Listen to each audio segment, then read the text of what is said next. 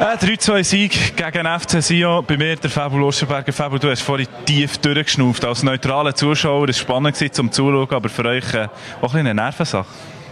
Äh, ja, Nervensache, ein Herzstück Arbeit. Ähm, nach sehr, sehr intensiven Wochen. Ähm, aber wir sind überglücklich, dass wir, dass wir ja, mit, viel, mit viel Einsatz, mit viel, ähm, mit viel Leidenschaft, mit viel äh, Kampfkraft auch das Spiel können gewinnen und wir wollten unbedingt wollen gewinnen, wieder auf die Siegerstraße zurückkommen und ähm, wie gesagt, sehr, sehr froh und ähm, erleichtert auch.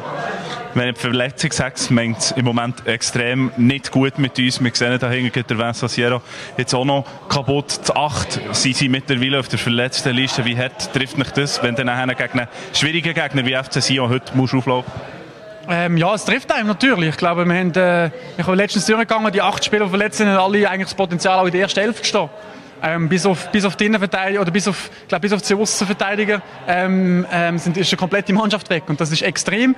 Ähm, trotzdem glaube ich, haben wir gesehen, wir haben eine unglaublich gute Mannschaft. Wir haben äh, Leute, die reinkommen, die, die sich zerreißen. Wir haben ähm, Leute, die nicht so viel gespielt haben und dann wieder spielen und, und ihre Chance nutzen. Also wir sind eine intakte Mannschaft, wir sind eine sehr gute Mannschaft, eine homogene Mannschaft und ähm, das sind also Leistungen möglich. Wir haben vorhin gesagt, es gibt auch immer wieder Chancen für die jungen Spieler, mal im Eis aufzulaufen oder zumindest schon mal Platz zu nehmen draussen. Ich glaube, solche Sachen sind auch genau wichtig, eben auch mit der englischen Woche, sagen Europa League, solche Sachen, wo man die Kräfte auch braucht. Ja, auf jeden Fall. Ich glaube, das hat man heute wieder gesehen, dass am Schluss ähm, es ja wirklich so eine, eine Sache von der Kraft oder von der Mentalität war, weil beide sind schwer gewesen. Nach einem intensiven Spiel in Thun, äh, letzte Woche der Spitzenkampf gegen Basel, davor Europa League, also äh, schwere Wochen, wo, wo, wo viel Kraft kostet.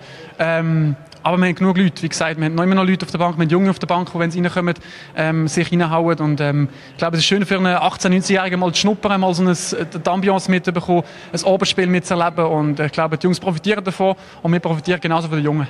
Also du hast gesagt, deine Frau die wartet schon, darum lassen wir die kumpen. Merci vielmals und herzliche Gratulation zu diesen drei Punkten. Danke Merci, Merci. So, das war es für heute Abend. Wir haben natürlich noch die Highlights vom heutigen Abend nach einer kleinen Unterbrechung. Bis gerade.